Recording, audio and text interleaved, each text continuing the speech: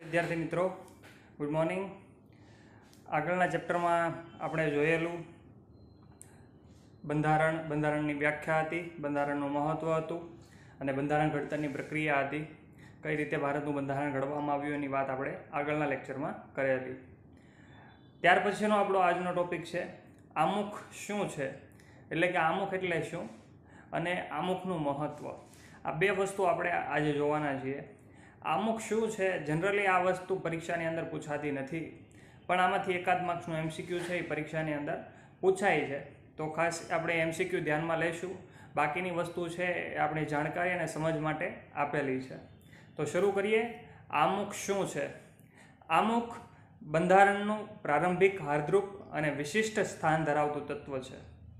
બંધારણની શરૂઆત આમુખથી થાય છે. આમુખમાં દર્શાવેલા શબ્દો પરથી આમુખ બંધારણનો આત્મા હોવાની પ્રતીતિ થાય છે. આમુખ બંધારણનું હાર્દરૂપ અને વિશિષ્ટ સ્થાન ધરાવતું તત્વ છે. આમુખ છે ભારતના બંધારણનું હાર્દરૂપ અને વિશિષ્ટ સ્થાન ધરાવતું તત્વ છે. હાર્દ એટલે હૃદય. આમુખ છે ભારતના બંધારણનું હૃદય છે. અને તમે જાણો છો કે હૃદય છે એ માનવ શરીરની અંદર એક વિશિષ્ટ સ્થાન ધરાવે છે. જો હૃદય જ ન હોય અથવા તો હૃદય હોય અને હૃદય બંધ થઈ જાય, તો માણસનું શરીર ટકી શકતું નથી, માણસ જીવી શકતો નથી. એમ, ભારતના બંધારણને જીવતું રાખવા માટે, ભારતના બંધારણને વ્યવસ્થિત કાર્યશીલ રાખવા માટે, તેના આધારે આખા દેશનું સંચાલન કરવા માટે, દેશના લોકોને અનુશાસનમાં રાખવા માટે આમુખ છે, એ બંધારણનું હૃદય છે. હૃદય સાબિત થયેલું છે. એટલે અહીંયા તમને કીધું છે આમુખ બંધારણનું પ્રારંભિક હાર્દરૂપ અને વિશિષ્ટ સ્થાન ધરાવતું તત્વ છે. આમુખ છે એ બંધારણનું હૃદય છે. બંધારણની શરૂઆત આમુખથી થાય છે. આ એક એમસીક્યુ છે, જે તમને પરીક્ષાની અંદર પૂછાઈ શકે. સવાલ તમને એવો પૂછવામાં આવે કે ભારતીય બંધારણની શરૂઆત ખાલી જગ્યાથી થાય છે. તો ખાલી જગ્યામાં તમારે લખવાનું હોય છે, આમુખ ભારતીય બંધારણની શરૂઆત શેનાથી થાય છે? તો કે ભારતીય બંધારણની શરૂઆત આમુખથી થાય છે. આ એક એમસીક્યુ છે કે જે પરીક્ષામાં વારંવાર પૂછાય છે, એટલે ધ્યાનમાં લેજો. આમુખમાં દર્શાવેલા શબ્દો પરથી આમુખ બંધારણનો આત્મા હોવાની પ્રતીતિ થાય છે. આમુખમાં જે શબ્દો દર્શાવવામાં આવેલા છે, આમુખમાં જે વાત કરવામાં આવેલી છે, એના ઉપરથી આમુખ એ બંધારણનો આત્મા હોય એવી પ્રતીતિ થાય છે. આત્મા વગરનું શરીર છે એ કંઈ કામનું નથી. આત્મા વગરનો દેહ છે કંઈ કામનો નથી. એમ બંધારણની અંદર બંધારણનો આત્મા એવું આમુખ જ નહીં હોય, તો આખું બંધારણ કંઈ કામનું રહેતું નથી. એ આમુખના શબ્દો છે એ તમને હવે આપેલા છે, જેની ઉપર આપણે પહેલાં નજર કરશું. આમુખમાં દર્શાવેલા શબ્દો નીચે પ્રમાણે છે. એમાં તમને ભારતનું સંવિધાન એમ કરીને આમુખ છે આખું આપેલું છે. પહેલાં હું આખું એકવાર આમુખ છે એ વાંચીશ, પછી આપણે ધીરે ધીરે આમુખ છે સમજવાનો પ્રયત્ન કરીશું. આમુખ અમે ભારતના લોકો, ભારતને સાર્વભૌમ, સમાજવાદી, બિનસાંપ્રદાયિક, લોકશાહી, પ્રજાસત્તાક તરીકે સંસ્થાપિત કરવાનું તથા તેના સર્વ નાગરિકોને સામાજિક, આર્થિક અને રાજકીય ન્યાય, વિચાર, અભિવ્યક્તિ, માન્યતા, ધર્મ અને ઉપાસનાની સ્વતંત્રતા, દરજ્જા અને તકની સમાનતા પ્રાપ્ત થાય તેમ કરવાનો અને તેઓ સર્વમાં વ્યક્તિનું ગૌરવ અને રાષ્ટ્રની એકતા અને અખંડતા સુદૃઢ કરવા માટે બંધુતા વિકસાવવાનો ગંભીરતાપૂર્વક સંકલ્પ કરીને અમારી સંવિધાન સભાને છવ્વીસ નવેમ્બર ઓગણીસો ને ઓગણપચાસ માક્ષર સુદ સાતમ વિક્રમ સંવંત બે હજાર છના રોજ આથી આ સંવિધાન અપનાવીને તેને અધિનિયમ અધિનિયમિત કરી અમને પોતાની જાતને અર્પિત કરીએ છીએ. વિદ્યાર્થી મિત્રો, આ આપણા અમુકના શબ્દો હતા. ઘણા એવા શબ્દો છે કે જે તમે પહેલી વાર સાંભળેલા હશે. ઘણા શબ્દો છે તમને સમ, સમજાયા પણ નહીં હોય. એવા શબ્દો છે. આપણે શરૂઆત કરીએ, સમજવાનો પ્રયત્ન કરીએ. આ આખું આમુખ છે એ તમને ક્યાંય પરીક્ષામાં નથી પૂછાતું. આજે આમુખ શું છે એ ટોપિકમાંથી એક જ એમસીક્યુ પૂછાય છે અને એમસીક્યુ આપણે આગળ જોયો કે ભારતના બંધારણની શરૂઆત શેનાથી થઈ છે તો કે ભારતના બંધારણની શરૂઆત આમુખથી થઈ છે. આ આમુખ જે તમને લખીને બતાવેલું છે એ ક્યાંય પૂછાતું નથી. આમુખ અમે ભારતના લોકો, ભારતને સાર્વભૌમ, સમાજવાદી, બિનસાંપ્રદાયિક, લોકશાહી અને પ્રજાસત્તાક તરીકે સંસ્થાપિત કરવાનો. તમને એવું કીધું છે, અમે ભારતના લોકો, અમે ભારતના લોકો એટલે આપણે સૌ, એકસો ને ત્રીસ કરોડ જેટલી ભારતની જનતા. અમે ભારતના લોકો ભારતને એક સાર્વભૌમ સાર્વભૌમ એટલે એક વિશાળ ફેલાયેલો દેશ કે જેમાં દરેક દેશની પ્રજા છે આવીને વસવાટ કરતી હોય. ઉદારતાની ભાવનાથી આખો દેશ છે કામ કરતો હોય. સમાજવાદી, જેમાં દરેક સમાજને પોતાની પ્રાયોરિટી હોય છે, જેમાં દરેક સમાજ પોતાની રીતે વિકસી શકતો હોય, પોતાની રીતે આગળ વધી શકતો હોય અને એની સ્વતંત્રતા એને પ્રાપ્ત કરવા, એને આપવામાં આવેલી હોય. તમે જાણતા હશો, તમારો જે સમાજ હોય, મારો જે સમાજ છે કોઈ પણ તમારી આસપાસના તમારા મિત્રો એનો સમાજ હશે, તો દરેક વ્યક્તિ પોતાની સામાજિક રીતે છે આગળ વધતો હોય છે. અને હવે તમે જાણતા હશો, સમાજના સ્નેહ મિલનો પણ થવા લાગ્યા છે. તો આ શું દર્શાવે છે કે કોઈ પણ વ્યક્તિને પોતાનો સમાજ ડેવલપ થાય, પોતાના સમાજને વિકસાવવાનો સંપૂર્ણપણે અધિકાર આપવામાં આવેલો છે. ત્યાર પછી તમને કીધેલું છે બિન સાંપ્રદાયિકતા. બિન સાંપ્રદાયિકતા એટલે ધર્મના નામ ઉપર ક્યારેય કોઈ પણ વ્યક્તિ સાથે કોઈ પણ પ્રકારનો ભેદભાવ રાખવામાં આવતો નથી. દરેક વ્યક્તિ પોતે ઈચ્છે એ ધર્મ પાળવા માટે સ્વતંત્ર છે. ધર્મના નામ ઉપર ક્યારેય કોઈ પણ વ્યક્તિ ઉપર બોજ નથી આપવામાં આવતો કે ધર્મના આધારે કોઈ પણ વ્યક્તિ સાથે ભારતની અંદર ભેદભાવ પણ રાખવામાં આવતો નથી. લોકશાહી લોકશાહી એટલે લોકોનું શાસન, લોકો વડે ચાલતું શાસન અને લોકો માટે જ થતું શાસન, જેને લોકશાહી તરીકે ઓળખવામાં આવે છે. આઠમા ધોરણની અંદર તમે આ વ્યાખ્યા છે એ સારી રીતે ભણી ગયા હશો. એ લોકશાહી પ્રજાસત્તાક તરીકે સંસ્થાપિત કરવું. પ્રજાસત્તાક એટલે જેમાં લોકોનું શાસન હોય, લોકો જે પ્રમાણે કહે એ પ્રમાણે આખો દેશ છે એ કામ કરતો હોય, આખા દેશનો વહીવટ છે એ સંભાળવામાં આવતો હોય. તમે જાણો છો, ભારતમાં પ્રજાસત્તાક લોકશાહી છે એ જોવા મળે છે. ભારતમાં દર પાંચ વર્ષે ચૂંટણીઓ થાય છે અને ચૂંટણીઓના આધારે કોઈ નેતાઓ છે પસંદ થાય છે અને નેતા પછી આખા દેશની શાસન છે સંભાળતા હોય છે. તથા તેના સર્વ નાગરિકોને સામાજિક, આર્થિક અને રાજકીય ન્યાય તેના સર્વ નાગરિકોને એટલે ભારતના એકસો ને ત્રીસ કરોડ વ્યક્તિઓને સામાજિક ન્યાય મળવો જોઈએ. સામાજિક ન્યાય એટલે સમાજની દ્રષ્ટિએ દરેક વ્યક્તિને સમાન ગણવા જોઈએ. સમાજની દ્રષ્ટિએ કોઈ વ્યક્તિ ઉપરની કક્ષાનો, સમાજની દ્રષ્ટિએ કોઈ વ્યક્તિ નીચલી કક્ષાનો, આ વસ્તુ જોવા મળવી જોઈએ નહીં. આર્થિક દ્રષ્ટિએ, આર્થિક એટલે નાણાકીય બાબત, પૈસાની બાબતે. પૈસાની બાબતે પણ દરેક વ્યક્તિને સમાન ગણવા જોઈએ. ભારતનું બંધારણ, દરેક વ્યક્તિને પોતાની લાયકાત પ્રમાણે પોતાની ઈચ્છા અનુસાર પોતે જેટલી મહેનત કરે છે એ પ્રમાણે કમાવાની છૂટ આપે છે. તમે તમારી ઈચ્છા પ્રમાણે, તમારી મહેનત પ્રમાણે, તમારી લાયકાત પ્રમાણે તમે કરી શકો એટલું તમે કમાઈ શકો છો. તમે જેટલું કામ કરો એટલું તમે વધારે ને વધારે કમાઈ શકો છો. આ આર્થિક સ્વતંત્રતા છે. ભારતમાં એવો કોઈ જ નિયમ નથી કે એક વ્યક્તિએ વધુમાં વધુ એટલા જ રૂપિયા કમાવા. એનાથી વધુ રૂપિયા એ વ્યક્તિ કમાઈ શકશે નહીં. આ સ્વતંત્રતા છે, જે આર્થિક સ્વતંત્રતા છે, જે દરેક વ્યક્તિને પ્રાપ્ત થયેલી છે. અને રાજકીય ન્યાય, રાજકીય રીતે પણ દરેક વ્યક્તિ છે એ સ્વતંત્ર હોવો જોઈએ એને રાજકીય રીતે પણ ન્યાય મળવો જોઈએ. તમે જાણતા હશો ચૂંટણી છે તો દર પાંચ વર્ષે ચૂંટણી થાય છે. એમાં કોઈ પણ પક્ષમાંથી તો સભ્યો ઊભા જ રહેતા હોય છે. સાથે સાથે અપક્ષ લોકો પણ ઉમેદવારી નોંધાવતા હોય છે.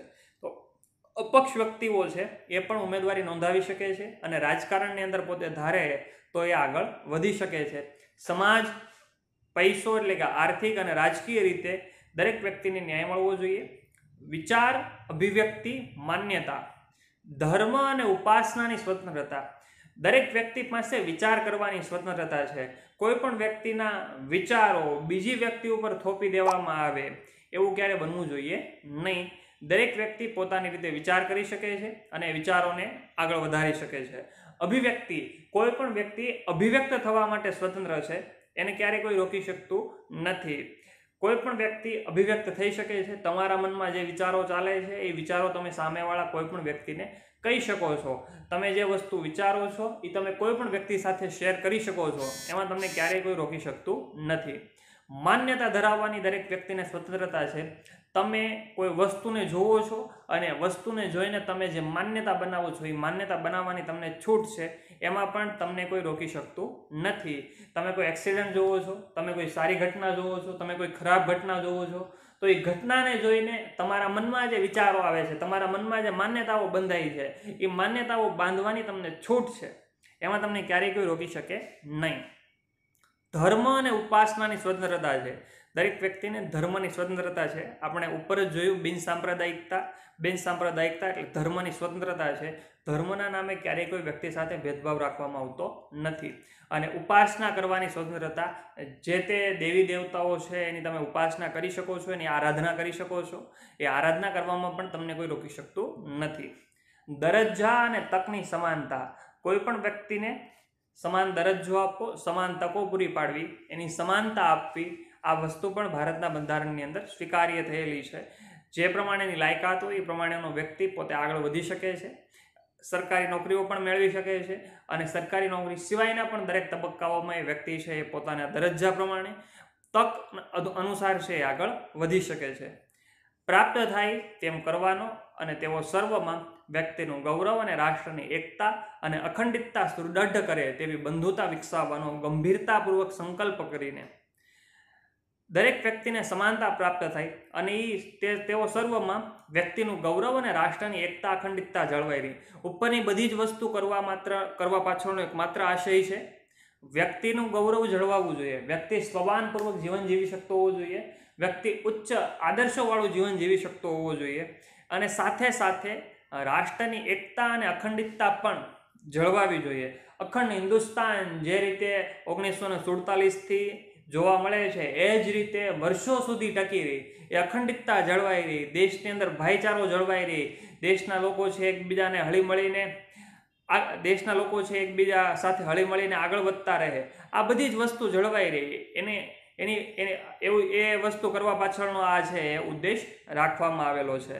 ગંભીરતાપૂર્વક સંકલ્પ કરીને અમારી સંવિધાન સભાને છવ્વીસ નવેમ્બર ઓગણીસો ઓગણપચાસ માક્ષર સુદ સાતમ વિક્રમ સંવંત બે હજાર છના રોજ આથી આ સંવિધાન અપનાવી તેને અધિનિયમિત કરીને અમે પોતાની જાતને અર્પિત કરીએ છીએ. સંવિધાન સભા એટલે બંધારણ સભા. સંવિધાન છે એ બંધારણનો બીજો અર્થ છે.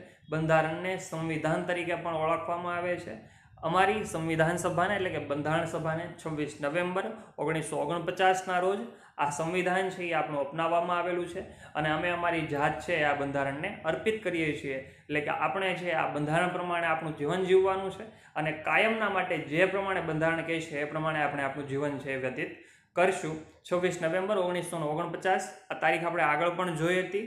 આ તારીખે આપણું બંધારણ છે એ ઘડાઈ ગયું હતું અને બંધારણ સભાએ બંધારણને મંજૂરી આપી દીધી હતી. પરંતુ બંધારણ અમલમાં મૂકવામાં આવ્યું છવ્વીસ જાન્યુઆરી ઓગણીસો ને પચાસના રોજ. છવ્વીસ નવેમ્બર ઓગણીસો ને ઓગણપચાસ એ તારીખ બંધારણ ઘડાઈ ગયું અને બંધારણ સભાએ મંજૂર કરી દીધું. આ તારીખ હતી આપણે બંધારણ ઘડતરની પ્રક્રિયામાં જોયેલી આ વસ્તુ. અને એ જ ફકરામાં આપણને આપેલું કે છવ્વીસ જાન્યુઆરી ઓગણીસો ને પચાસના રોજ બંધારણ છે અમલમાં મૂકવામાં આવ્યું અને એ દિવસને ભારતમાં પ્રજાસત્તાક દિન તરીકે ઉજવવામાં આવે છે.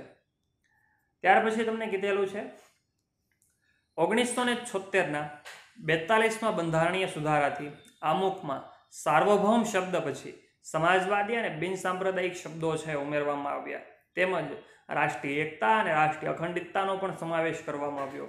ઓગણીસો ને છોતેરમાં બેતાલીસમાં બંધારણીય સુધારાથી ભારતના બંધારણમાં જે જે સુધારાઓ થાય છે એ સુધારાને નંબર આપવામાં આવે છે. કઈ ઈસવીસનમાં કયો સુધારો થયો? એને નંબર આપીને એ પ્રમાણે આખી સુધારાની પ્રક્રિયા છે એ આગળ ધપાવવામાં આવતી હોય છે. અહીંયા તમને કીધું છે, ઓગણીસો ને છોતેરની ઈસવીસન છે અને બંધારણનો સુધારો છે બેતાલીસમો. એનો સીધો મતલબ છે કે આગળના સમયગાળા દરમિયાન બીજા એકતાલીસ સુધારા થઈ ગયા છે. આગળના સમયગાળા દરમિયાન બીજા એકતાલીસ સુધારા થઈ ગયા છે. આ બેતાલીસમો સુધારો છે. બેતાલીસમાં બંધારણીય સુધારાથી આમુખમાં સાર્વભૌમ શબ્દ પછી સમાજવાદી શબ્દ અને બિન સાંપ્રદાયિક શબ્દ છે, આ બંને શબ્દો ઉમેરવામાં આવ્યા. ત્રણે ત્રણ શબ્દના અર્થ છે આપણે આગળ જોયા. સાર્વભૌમ, વિશાળ દેશ, ઉદારતા ધરાવતો દેશ જે બીજા દેશના લોકોને પણ પોતાનામાં સમાવી લેતો હોય અને વિકાસની ગાથા છે નિરંતર આગળ વધારતો હોય. સમાજવાદી એટલે દરેક સમાજને પોતે આગળ વધવા માટેની સ્વતંત્રતા બક્ષતો હોય અને બિન સાંપ્રદાયિક એટલે ધર્મના નામે ક્યારેય કોઈ પણ વ્યક્તિ સાથે કોઈ ભેદભાવ કરવામાં આવતો હોય નહીં. તેમજ રાષ્ટ્રીય એકતા અને રાષ્ટ્રીય અખંડિતતાનો સમાવેશ કરવામાં આવેલો છે. રાષ્ટ્રની એકતા અને રાષ્ટ્રની અખંડિતતા આ બંને મુખ્ય બાબતો છે. દેશને સાથે રાખવાનો, દેશના લોકો સાથે મળીને દેશનો વિકાસ કરે, આ બાબતને પણ આમાં સમાવવામાં આવેલી છે. આમુખ બંધારણના મૂળભૂત હેતુઓ, ધ્યેયો, આદર્શો અને સિદ્ધાંતોને વાચા આપે છે. જે આમુખ છે, બંધારણની શરૂઆત છે, એ આમુખ બંધારણના મૂળભૂત હેતુઓ કે કયા કયા હેતુઓ માટે બંધારણ કામ કરશે, કયા નાગરિકોને કયા કયા કયા કયા હકો છે આપવામાં આવશે, નાગરિકોના હેત, નાગરિકોના સારા માટે કઈ કેવી કેવી કામગીરી છે બજાવવામાં આવશે, નાગરિકોએ કઈ રીતે પોતે બંધારણને આધીન રહીને પોતાનું જીવન જીવવાનું છે, ટૂંકમાં બંધારણનો હેતુ શું છે એ આમુખની અંદર દર્શાવવામાં આવેલો છે. આપણે જોયું, સાર્વભૌમ સમાજવાદી, બિનસાંપ્રદાયિકતા, પ્રજાસત્તાક, લોકશાહી આ વસ્તુ બંધારણનો મૂળભૂત હેતુ છે. દેશની અંદર ક્યારેય રાજાશાહી વ્યવસ્થા આવવી ન જોઈએ. હંમેશા પ્રજાસત્તાક શાસન રહેવું જોઈએ. હંમેશા બિનસાંપ્રદાયિકતા રહેવી જોઈએ. હંમેશા સમાજવાદી પદ્ધતિ રહેવી જોઈએ. સાર્વભૌમતા જળવાવી જોઈએ. આ બંધારણના મૂળભૂત હેતુઓ છે, જે આપણને આમુખ ઉપરથી જાણવા મળે છે. બંધારણના મૂળભૂત ધ્યેયો કયા છે? બંધારણ કયા ધ્યેયો માટે, કયા ઉદ્દેશો માટે કામ કરશે? ભારતના વિકાસ માટે, ભારતને આગળ વધારવા માટે? બંધારણ છે એ કઈ રીતે કામ કરશે? એ ધ્યેયો પણ આપણને આમુખમાંથી જાણવા મળે છે. આદર્શો છે એ પણ આપણને આમુખમાંથી જાણવા મળે છે. આદર્શોની આપણે વાત કરીએ તો રાષ્ટ્રીય એકતા અને રાષ્ટ્રીય અખંડિતતા. આપણા મૂળભૂત આદર્શો છે કે જે આદર્શોના આધારે વ્યક્તિએ પોતાનું જીવન જીવવાનું હોય છે ને, બંધારણ છે આ આદર્શોના આધારે કામ કરતું હોય. અને આની સિવાયના આદર્શ તરીકે સામાજિક, આર્થિક અને રાજકીય ન્યાય. આ મૂળભૂત આદર્શ છે કે વ્યક્તિને સમાજમાં આર્થિક એટલે પૈસાની દ્રષ્ટિએ અને રાજકીય એટલે રાજકારણની દ્રષ્ટિએ ન્યાય પ્રાપ્ત થાય, સમાનતા પ્રાપ્ત થાય, એ પોતે આગળ વધવાની વિકાસની તક છે એ પ્રાપ્ત કરી શકે. તો આવા આદર્શો પણ આપણને અમુકમાંથી જાણવા મળે છે. તેમજ સિદ્ધાંતોને વાચા આપે છે. સિદ્ધાંતો એટલે કયા? સિદ્ધાંતોને આધીન બંધારણ છે, એ કામ કરવાનું છે. એને વાચા આપે છે. વાચા આપવી એટલે બોલતું કરવું. અમુક છે, એ આ ચારે ચાર બાબતો બોલે છે. કયા મૂળભૂત હેતુઓ માટે બંધારણ કામ કરવાનું છે? કયા મૂળભૂત ધ્યેય માટે બંધારણ કામ કરવાનું છે? કયા કયા આદર્શો બંધારણની અંદર સમાયેલા છે? અને કયા કયા સિદ્ધાંતો બંધારણની અંદર સમાયેલા છે? આ બધી જ વસ્તુ છે એ આમુખ દ્વારા સ્પષ્ટ થઈ છે. આમુખ બંધારણના ઉદ્દેશો થકી ભારતમાં કલ્યાણ રાજ સ્થાપવાની ઉચ્ચ ભાવનાઓ અને આદર્શોને સિદ્ધ કરવા ઈચ્છે તેવું સ્પષ્ટ કરે છે. આમ આમુખ દ્વારા બંધારણના ઘડવૈયાઓના માનસનો પરિચય થાય છે. આમુખ બંધારણના ઉદ્દેશો થકી કલ્યાણ રાજ સ્થાપવાની ઉચ્ચ ભાવના અને આદર્શને સિદ્ધ કરે છે. એવી સ્પષ્ટતા છે. બંધારણમાં જે જે ઉદ્દેશો છે અમુક છે એ એના દ્વારા કલ્યાણ રાજ સ્થાપવાની જે ભાવના છે એ સિદ્ધ થાય છે. કલ્યાણ રાજ એટલે એવું રાજ કે જેમાં દરેક વ્યક્તિ સુખપૂર્વક પોતાનું જીવન જીવી શકતા હોય. ભારતની એકસો ને ત્રીસ કરોડની જનતા છે એ સુખપૂર્વક, શાંતિપૂર્વક દેશની અંદર વસવાટ કરી શકે અને ખૂબ સારી રીતે ઉચ્ચ આદર્શો સાથે પોતાનું જીવન છે, વ્યતીત કરી શકે. આ બાબત પણ અમુક દ્વારા સ્પષ્ટ થાય છે અને આટલી સારી બાબતો અમુકની અંદર સમાવવામાં આવેલી છે. આ બધી જ વસ્તુ બંધારણના ઘડવૈયાઓ છે, એના માનસનો પરિચય આપે છે કે જે જે વ્યક્તિ બંધારણ ઘડવા માટે બેઠા હતા, આપણે આગળ જોઈએ કે ત્રણસો ને પંચ્યાસી જેટલા વ્યક્તિઓ હતા કે જેણે ભારતનું આમ, જેણે ભારતનું બંધારણ ઘડતાની કામગીરી કરેલી. તો આ ત્રણસો ને પંચ્યાસી વ્યક્તિઓનું માનસ કેવું છે? એટલે કે જે વિચારવાની ક્ષમતા છે, જે માનસિક રીતે કામ કરવાની ક્ષમતા છે, એ કેવી હશે એનો આ પરિચય આપે છે. એ લોકોની માનસિકતા સારી હોય, એ લોકોના વિચારો સારા હોય, એ લોકો તજજ્ઞ હોય, એ લોકો નિષ્ણાંત હોય, તો જે બાકી બધા લોકો માટે સારા નિયમ, નિયમો છે, બનાવી શકતા હોય છે. એટલે બંધારણ ઘડવૈયાઓના માનસનો પરિચય આપે છે. ત્યાર પછી તમને આપેલું છે, અમુકનું મહત્વ. ત્રણ માર્ક્સની અંદર આ સવાલ છે, એ પૂછી શકાય. અમુકનું મહત્વ. ત્રણ માર્ક્સમાં સવાલ છે એ પૂછી શકાય. અમુકનું મહત્વ. તો તમારે આ જે ફકરો તમને આપેલો છે લખવાનો થાય. શરૂઆત તમને આપેલી છે. અમુકને બંધારણનો આત્મા કહ્યો છે. તે રીતે તેનું મહત્વ સવિશેષ છે. અમુકને બંધારણનો આત્મા કહેવામાં આવ્યો છે. એટલે એનું વિશેષ મહત્વ છે એ વધી જતું હોય છે. મેં તમને આગળ પણ કીધું કે વ્યક્તિના શરીરમાં આત્મા છે તો જેનું મહત્ત્વ છે. જો વ્યક્તિના શરીરમાંથી આત્મા નામની કોઈ ચીજ, આત્મા નામની કોઈ વસ્તુ છે, એ વ્યક્તિના શરીરમાંથી નીકળી જશે, તો વ્યક્તિનું જીવન કંઈ કામનું છે? નહીં, વ્યક્તિ જીવન જીવી શકવાનો નથી. એમ બંધારણનો આત્મા છે, એ આમુખ છે. જો આમુખ જ બંધારણમાંથી નીકળી જશે, તો આમુખનું કોઈ જ મહત્ત્વ રહેવાનું નથી. એટલે એનું મહત્ત્વ છે, એ વિશેષ કરીને વધારી દીધું છે. કારણ કે એવું કહેવામાં આવ્યું છે કે આમુખ છે એ બંધારણનો આત્મા છે. કોઈ પણ કાયદાના ઘડતરમાં તથા તેને પૂરી રીતે સમજવામાં કે અર્થઘટનમાં માર્ગદર્શન મળે છે.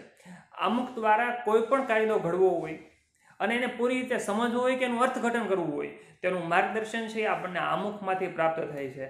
કોઈ પણ નવો કાયદો કયા કયા સિદ્ધાંતોના આધારે ઘડવો, કઈ કઈ વસ્તુઓને ધ્યાનમાં રાખીને ઘડવો અને જે કાયદો ઘડાય છે એને કઈ રીતે સારી રીતે સમજવો અને એનું કઈ રીતે અર્થઘટન કરવું, આ બાબતો આપણને આમુખમાંથી જાણવા મળે છે. અર્થઘટન કરવું એટલે એની સારી બાબતો જાણવી અને એની ખરાબ બાબતો જાણવી. કોઈ પણ કાયદાને લગતી બે બાબતો છે એ જોવા મળતી હોય છે. એમાં એક સારી બાબત હોય છે અને એક ખરાબ બાબત હોય છે. બંને બાબતોની ચર્ચા વિચારણાઓ કરીને કાયદા છે એ ઘડવામાં આવતા હોય છે. કાયદાના હેતુ તથા તેનો આદર્શ. કાયદો ઘડવા પાછળ સંસદની નીતિ શું છે તે જાણવામાં અમુક મદદરૂપ કરે, મદદરૂપ થઈ છે. કાયદાનો હેતુ કયો છે તથા તેનો આદર્શ કાયદો ઘડવા પાછળ સંસદની નીતિ શું છે એ જાણવામાં અમુક આપણને મદદરૂપ થઈ છે. કયા હેતુથી કાયદો ઘડવામાં આવેલો છે અને એ કાયદા ઘડતર પાછળ સંસદની કઈ કઈ નીતિ છે? સંસદે એ કાયદો કયા આધાર ઉપર ઘડેલો છે? કઈ નીતિના આધારે ઘડેલો છે? કોઈ વ્યક્તિગત ફાયદો થતો હોય એવો કોઈ કાયદો ભારતની સંસદ છે એ ઘડી શકે નહીં અને એ કાયદો બંધારણમાં ક્યારેય સમાવવામાં આવતો નથી. હંમેશા એવા જ કાયદાઓ ઘડાતા હોય છે ને એવા જ કાયદાઓ બંધારણમાં સમાતા, સમાવવામાં આવતા હોય છે. જે કાયદાઓ આખા દેશ માટે લાભદાયી હોય છે, સમગ્ર જનતાને એનો લાભ છે, થતો હોય છે. તો કાયદો કયા હેતુથી બનાવવામાં આવ્યો છે? અને એ કાયદો બનાવવા પાછળ, એ આદર્શ કાયદો બનાવવા પાછળ સંસદની કઈ નીતિ છે, એ પણ આપણને અમુકમાંથી જાણવા મળે છે. કયા પ્રકારની મુશ્કેલીઓના નિવારણ અર્થે કાયદાઓ ઘડવામાં આવે છે, તેનો નિદર્શ પણ અમુકમાંથી સ્પષ્ટ થાય છે. આમ, અમુક બંધારણનો અર્ક છે. કયા પ્રકારની મુશ્કેલીઓનું નિવારણ કરવા માટે કઈ કઈ મુશ્કેલીઓ દેશમાં ઊભી થઈ છે? કઈ કઈ મુશ્કેલીઓ જનતાને ઊભી, જનતાઓ સામે ઊભી થઈ છે? કયા કયા પડકારો દેશની સામે છે? લોકો કઈ મુશ્કેલીનો સામનો કરી રહ્યા છે? આવા કયા કયા પ્રકારની મુશ્કેલીઓ છે કે જે મુશ્કેલીઓને દૂર કરવા માટે? નિવારણ અર્થે નિવારણ અર્થે એટલે મુશ્કેલીને દૂર કરવી. દૂર કરવા માટે કાયદો ઘડવામાં આવ્યો છે. તેનો નિદર્શ પણ અમુકમાંથી સ્પષ્ટ થાય છે. અમુકમાંથી જાણી શકાય છે કે ભાઈ આવી મુશ્કેલી હતી તો આ મુશ્કેલીને દૂર કરવા માટે આપણે કાયદો છે, ઘડેલો છે. એટલે આ વસ્તુ પણ અમુકમાંથી જાણી શકાય છે. આમ અમુક બંધારણનો અર્થ છે. વિદ્યાર્થી મિત્રો, અહીંયા તમને એક બે માર્ક્સનું કારણ છે પૂછાઈ શકે. તમને સવાલ એવો પૂછાય, કારણ આપો, આમુખ બંધારણનો અર્થ છે, અર્ક છે. અથવા તો એવું પૂછાય, કારણ જણાવો. આમુખ બંધારણનો અર્ક છે. અને ત્રીજો પ્રશ્ન પૂછી શકાય, સમજાવો. આમુખ બંધારણનો અર્ક છે. સવાલ ફેરવીને પૂછાતો જ નથી. સવાલ એક જ પૂછાય છે. કાં તો કારણ આપો, આમુખ બંધારણનો અર્ક છે, અથવા તો સમજાવો, આમુખ બંધારણનો અર્ક છે. ત્યાર પછી તમને કીધેલું છે, કાયદાની કોઈ કલમમાં કે વિગતમાં કોઈ અસ્પષ્ટતા કે વિસંવાદિતતા ઊભી થાય. કાયદાનો હેતુ સ્પષ્ટ થતો ન હોય ત્યારે આમુખ કાયદાની કલમને સમજવામાં, તેનું અર્થઘટન કરવામાં મદદરૂપ થાય છે. કાયદાની કોઈ પણ કલમને સમજવામાં કોઈ અસ્પષ્ટતા ઊભી થતી હોય, વિસંવાદિતતા ઊભી થતી હોય, એનો હેતુ સ્પષ્ટ ન થતો હોય ત્યારે આમુખ છે એ કાયદાની કલમને સમજવામાં, તેનું અર્થઘટન કરવામાં મદદ કરે મદદ કરે છે. કાયદો બનાવાઈ ગયો છે, કાયદો ઘડી દેવામાં આવ્યો છે. પહેલાંના સમયમાં કદાચ એ કાયદો બનાવવામાં આવ્યો હોય, અત્યારે કાયદાને સમજવો હોય એમાં કોઈ વિસંવાદિતતા ઊભી થાય, એટલે કે કોઈ વ્યક્તિ છે એનું ખોટું અર્થઘટન કરતા હોય, અથવા તો એ વસ્તુ બે ત્રણ વ્યક્તિઓના મગજમાં છે, બે ત્રણ વ્યક્તિઓની માનસિકતામાં છે ખોટી રીતે ચાલી રહી હોય કે આ કાયદો છે એ આ રીતે ખોટો પડે છે. આ કાયદામાં આવા આવા સુધારાઓ કરવાની જરૂર છે, આ વિસંવાદિતતા છે. બધા લોકોને એક એક સરખી વસ્તુ સમજાતી હોય અને અમુક લોકોને કોઈ થોડીક બીજી રીતે વસ્તુઓ સમજાતી હોય. તો અસ્પષ્ટતા હોય, કોઈ ચોક્કસ અર્થ સ્પષ્ટ ન થતો હોય કે વિસંવાદિતતા ઊભી થતી હોય. અમુક વ્યક્તિઓ છે એ કાયદાના, કાયદાને લગતા ફેરફારો કરવા માંગતા હોય અથવા તો કાયદાનું ખોટું અર્થઘટન કરતા હોય. તો એવા સમયે કાયદાનો હેતુ સ્પષ્ટ કરવા માટે અમુક છે એ કાયદાની કલમને સમજ, સમજવામાં અને તેનું અર્થઘટન કરવામાં મદદરૂપ થાય છે. એવા સમયે જો કાયદો અસ્પષ્ટ બને, વિસંવાદિતતા ઊભી થાય, તો અમુક દ્વારા કાયદાને સારી રીતે સમજી શકાય છે. કાયદાની કલમનું અર્થઘટન કરી શકાય છે અને એના દ્વારા એની સ્પષ્ટતા છે વ્યક્તિઓ સામે, દેશ સામે કે નેતાઓ સામે કે બંધારણ થકી કરી શકાય છે. આમ અમુક બંધારણની જોગવાઈઓને સમજવામાં હોકાયંત્રની ગરજ સારે છે. તમને ખ્યાલ હશે વિદ્યાર્થી મિત્રો, હોકાયંત્ર છે દિશા બતાવવા માટેનું એક ખાસ સાધન છે.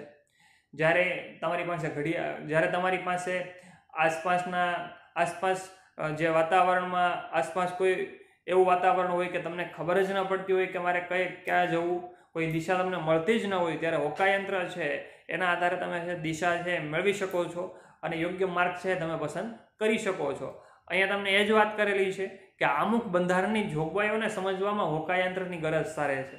બંધારણમાં કઈ કઈ જોગવાઈઓ આપેલી છે અને જોગવાઈનું કેવું અર્થઘટન છે એ જોગવાઈઓ કઈ રીતે સરળતાથી રજૂ કરી શકાય છે, એના માટેની યોગ્ય દિશા એના માટેનો યોગ્ય માર્ગ, એના માટેનો યોગ્ય રસ્તો એ આમુખ છે એ પૂરું પાડે છે.